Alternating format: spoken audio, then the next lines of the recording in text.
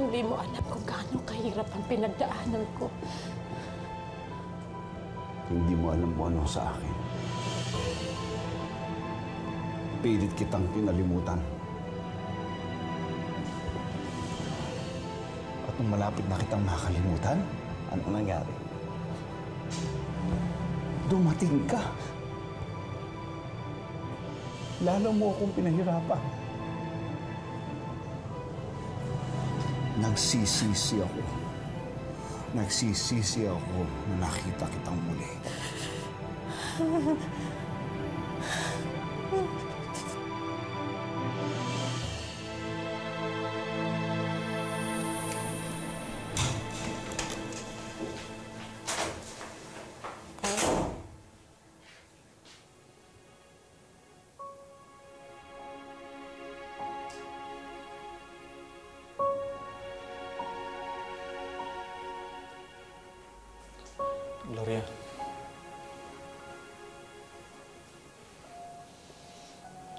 Kamusta ka na?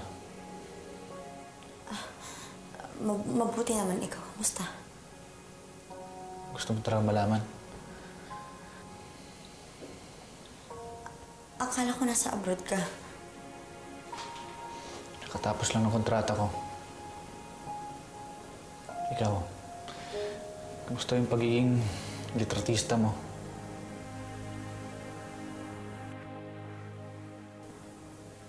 Matagal ko na binitawan yung camera.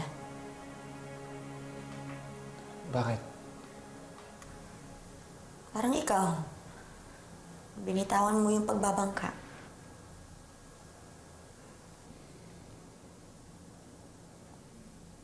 Ganun talaga siguro. Kapag sinusubukan mo maghangad ng bagong buhay, may mga nakasanayan ka na kailangan mong bitawan.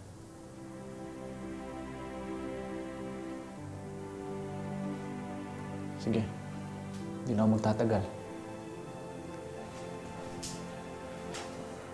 Ang susi mo, mauna na ako. Sige, Peter. Salamat sa pagdalaw mo.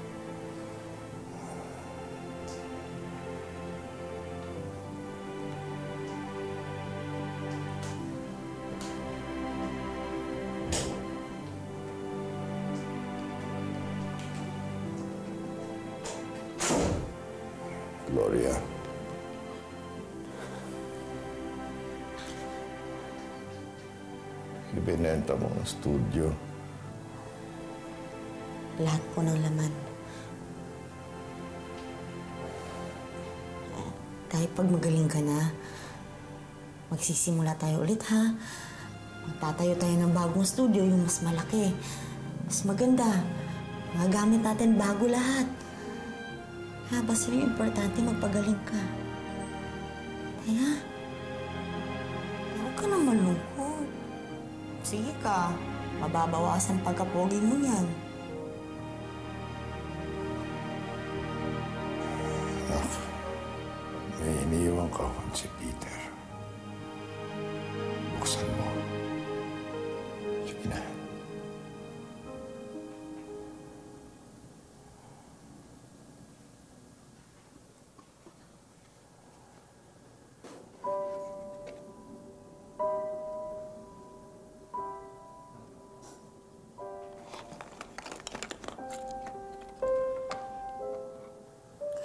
Studio. Siya? Siya yung bumili?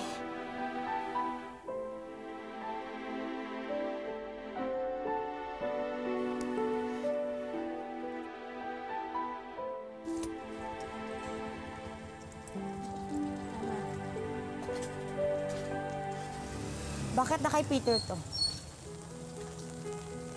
Lydia, sagutin mo ko. Si Peter ba yung bumili ng photo studio? Sa kanya ba nakasanla yung bahay? Pero kasi, Ba't hindi mo sinabi sa akin? kapag sinabi ko sa'yo, papayag ka ba?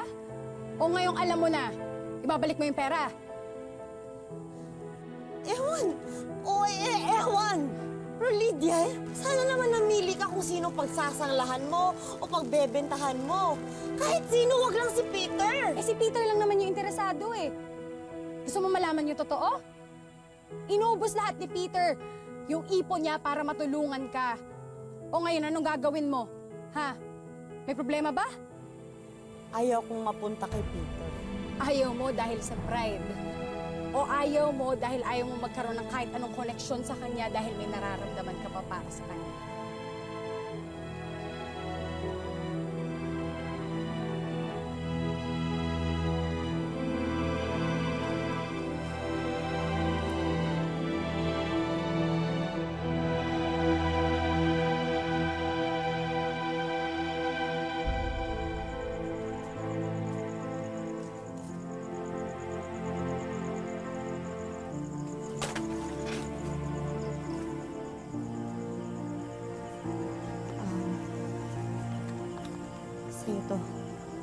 Kasama sa photos yung binili mo. Nung naging bintaryo ako, nakita ko mas malaking halaga ang nakuha ko kaysa binayad ko. Kaya, mas may karapatan ka sa camera na yan. Matagal na ako hindi gumagamit nito. Hindi na ako marunong. Hindi na sabi ko, nung humawa ko ng sagon isang araw. Isang bagay pala na naging bahagi na ng buhay mo. Kahit matagal mo nang binitawan, hindi mo makakalimutan.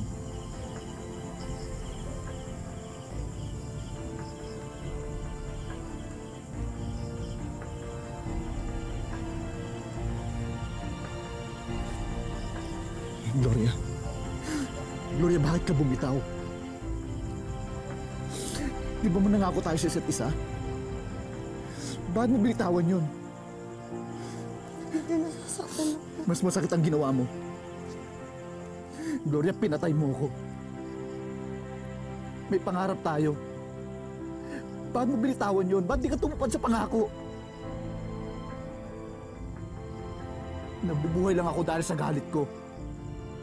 Bumabangon ako araw-araw para tuparin ang mga pangarap na yon. At ipamukha sa balang araw na nagkamali ka na pinagpalit mo ko.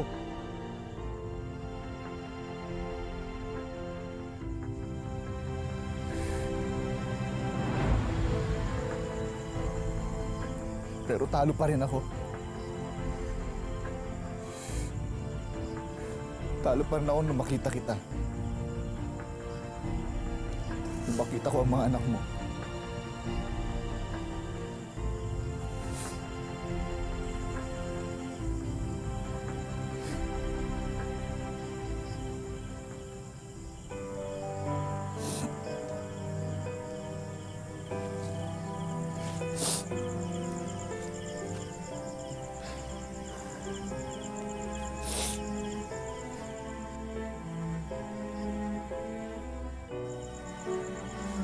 Kabila ng lahat, mahal pa rin kita.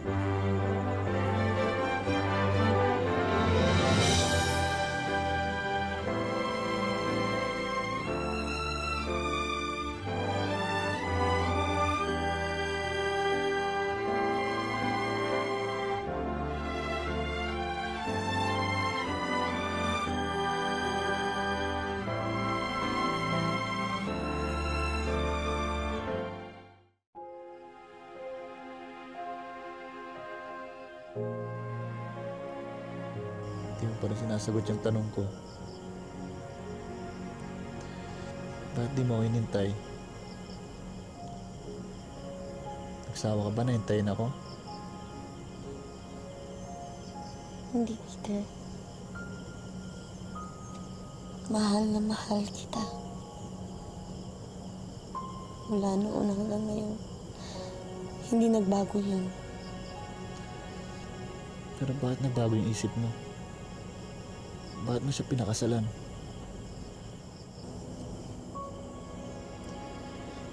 Peter, gusto kong sagutin yung mga tanong mo. Pero hindi pa ako handa. Hindi pa ako handa ungkatin yung nakaraan sa ngayon.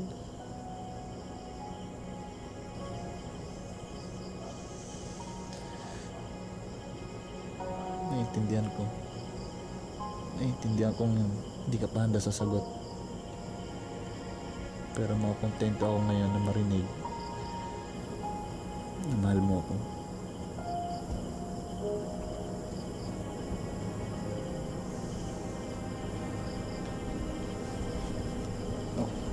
Saan ka pupunta?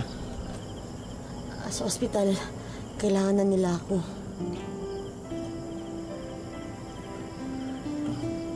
Gloria.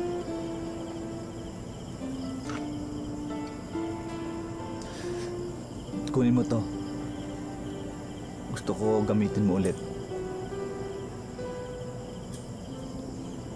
Di mo ba namimiss?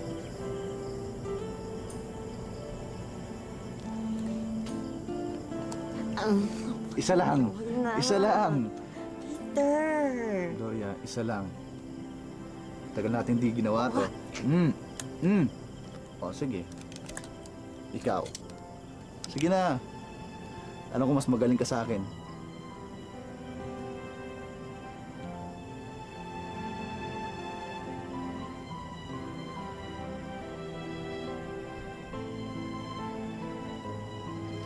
O, tingnan mo. Bagay na bagay sa'yo.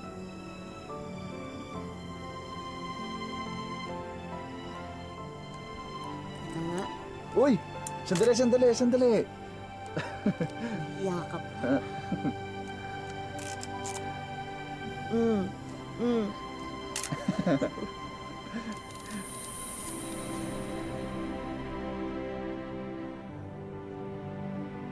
Yun ang pinakamasayang araw ng buhay ko.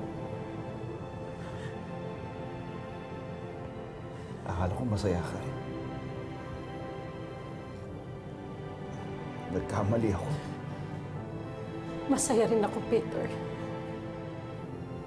Kinaya kong walang katuwang. Kinaya kong harapin ang takot ko na anumang oras pwedeng mawala ang tatay ko dahil naroon ka. Dahil kasama kita.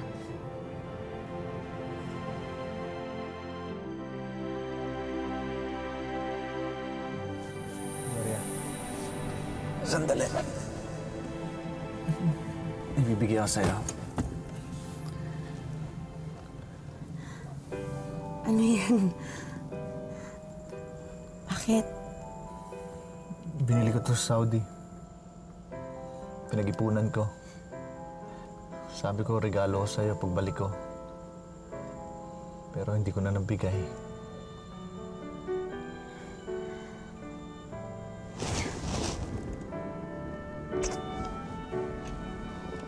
Salamat, Peter, ha? Pero wala akong regalo sa'yo. Gloria, yung pagbabalik mo dito, yung pagbalik mo sa buhay ko, sobra-sobrang regalo na yun para sa akin.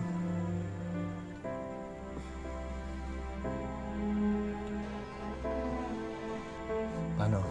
Suot mo na. Suot na natin. Tingnan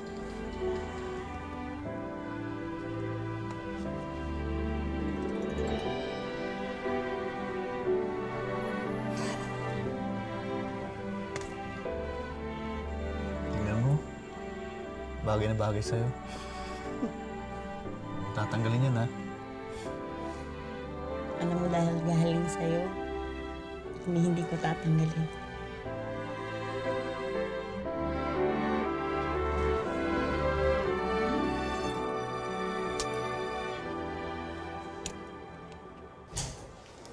Ma, Mama! Mama,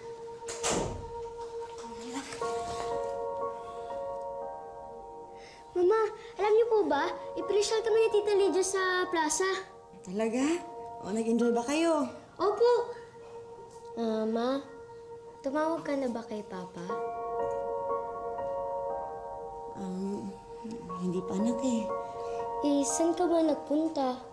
Akala ko binabantayan mo si Lolo. Sana pala sumama ka na lang sa amin. Gloria, Ah, mga anak, labas muna kayo ha. Mag-uusap na kami ni Lolo ha. Lalo ka, Lydia. Kami bahala.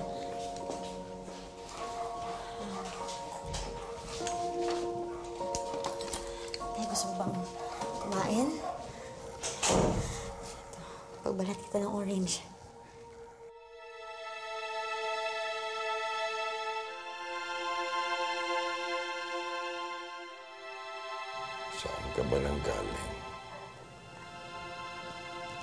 Diyan lang po. May nasikaso. Ngayon lang kita nakita ulit. Ganun kasigla.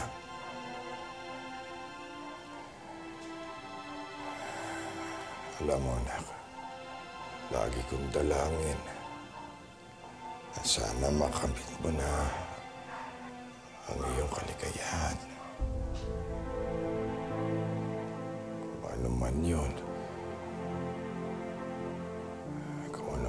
gusto mong gawin. Sana anak,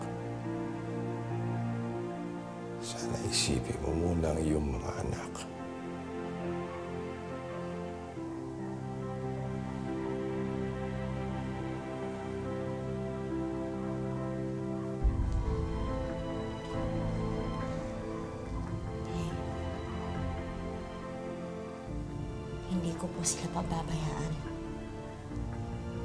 Ko pababayaan ang mga anak ko.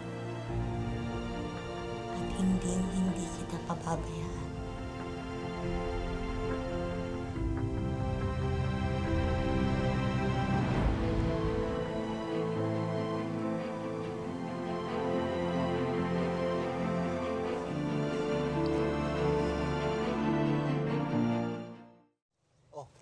Gloria, kunan mo ako dito.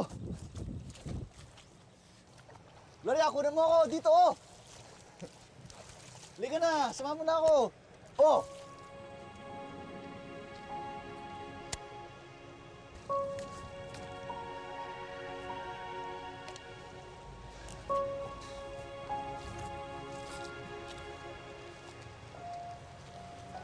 Iniisip mo pa rin yung tatay mo? Iniisip ko kung bakit ako nandito. Para makasama ako. Pero hindi ko alam kung bakit ginagawa ko to. May mga anak ako. Si tatay nasa ospital. Peter, kinakain ako ng konsensya ko. Dapat nasa tabi ako nila ngayon. Alam mo, kailangan nila ako. Pero nandito ka sa tabi ko ngayon kasi kailangan mo ko. Gloria, huwag kang matakot na sabihin kailangan mo ko. Hindi naman pwedeng palagi ikaw na nag-aalaga. Kailangan may nag-aalaga din sa'yo. Kaya nga nandito ako. Gloria, Gloria, alam kong pagod ka na. Masyadong marami ka na sinakripisyo. Gloria, hindi madali itong ginagawa mo. Gloria, Gloria, gusto ko tang alagaan. Gusto ko tang alagaan pati yung tatay mo. Gloria, sumama ka na sa akin. Hayaan mong halagaan ko kayong lahat. Matagal ko nang tinuring na parang tatay ko yung tatay mo. Kaya hayaan mong ituring ko yung mga anak mo na parang anak ko rin. Peter! Peter! Hindi, Dalma. Pinuntahan kita sa bahay mo. At anong ginagawa ng babaeng yan dito? Nay, pinapasyal ko lang ho si Gloria. Pedro, anak, baka naman nakakalimutan mo ha. Yung pinapasyal mo ay may asawang tao. Sana nga, talagang pasyal ang ginagawa nyo. kay Thelma. At baka nakakalimutan mo rin, Pedro, na kung anong delubyo ang nangyari sa'yo nang dahil sa babaeng yan. Nay, hindi yan para pag-usapan dito. Eh ano anak, saan? Pag nalaman na lahat ng tao dito sa bagong ilog? Ha? Pag nalaman na ng lahat ng Cervantes? Anak naman, pag napahamak ka na naman ng dahil dito sa babaeng to. Hindi po mapapahamak si Peter yung dahil sa akin. Hindi! Eh yung pagsama-sama niya lang sa babaeng may asawa, ano tawag mo doon? Hindi ba napapahamak ang kaluluwa ng anak ko? At ikaw, kababae mong tao, may asawa ka. Hindi mo man lang ba naiisip ang mga anak mo? Ha? O tatay mong may sakit? O kahit man lang yung kapakanan mo?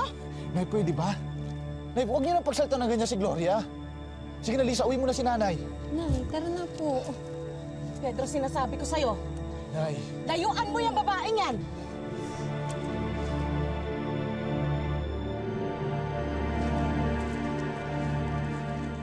Gloria, Gloria, pagpasensyahan mo na si nanay, ha?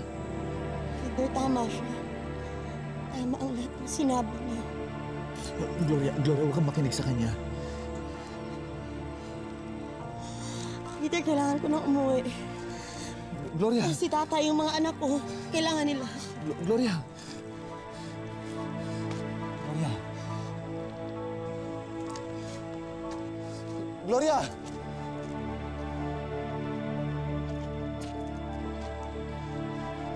Gloria! Peter!